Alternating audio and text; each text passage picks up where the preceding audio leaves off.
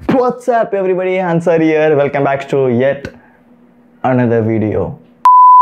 Two வீக்ஸ்க்கு முன்னாடி Peter மெக்கினோனோட ஒரு video ஒன்று பார்த்தேன் ஃபஸ்ட்டு பீட்டர் மெக்கினன்னா யாருன்னு தெரியாதவங்களுக்கு is a content creator one of the best YouTuber so என்னாச்சுன்னா நம்ம டெய்லி டாஸ்க்கை ஒரு நோட் பேடில் எழுதுறதோட இம்பார்ட்டன்ட் பற்றி அந்த வீடியோவில் பீட்டர் பேசியிருப்பார் then I thought why don't I give a ட்ரைன்னு so year it is what I learned வீடியோக்குள்ளே போகிறதுக்கு முன்னாடி ஹே பீட்டர் If யூ வாட்சிங் this and others too don't forget to hit the subscribe button Let's get started.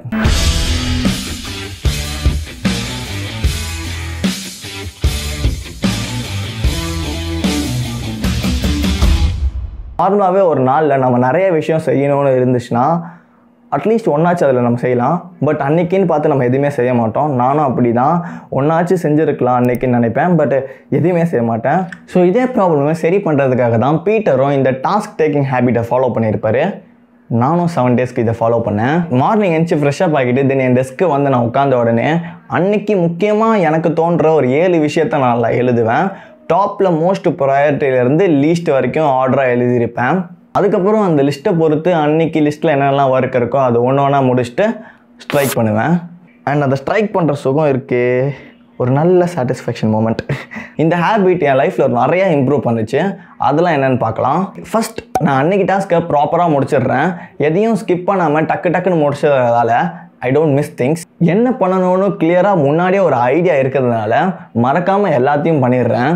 Second இந்த ப்ரொசீஜரையே actually இந்த seven டேஸ்க்கு முன்னாடி couple of டேஸ்க்கு ஃபோனில் ஃபாலோ பண்ணேன். ஃபோனில் வந்து எல்லாத்தையும் நோட் பண்ணிட்டு ஸ்ட்ரைக் பண்ணுற மாதிரி பண்ணியிருந்தேன். பட் அது அவ்வளோ எஃபிஷியண்ட்டாக இல்லை. மோஸ்ட்லி டாஸ்க் பண்ணுறதுக்கு பதிலாக அப்படியே டிஸ்ட்ராக்ட் ஆகி யூடியூப் வாட்ஸ்அப் இன்ஸ்டா அப்படின்னு போயிடுவேன். ஸோ ரொம்பவே டிஸ்ட்ராக்டிங்காக இருந்துச்சு.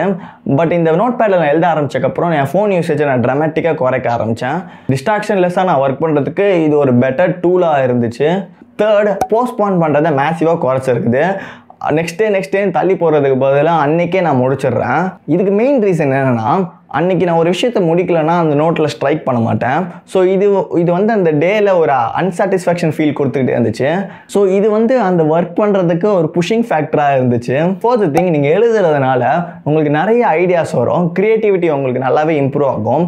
இது டுவெண்ட்டி டுவெண்ட்டி ஒனில் ஃபெப்லேருந்து நான் ஜேர்னல் எழுத ஆரம்பித்தேன் ஸோ அப்போதுலேருந்து நிறைய ஐடியாஸ் வந்துச்சு. அதில் ஒன்று தான் இந்த YouTube channel so if you like this video don't forget to smash that subscribe button அவ்வளோதான் இந்த video this is Ansari from I'm sorry and I will see you in next video.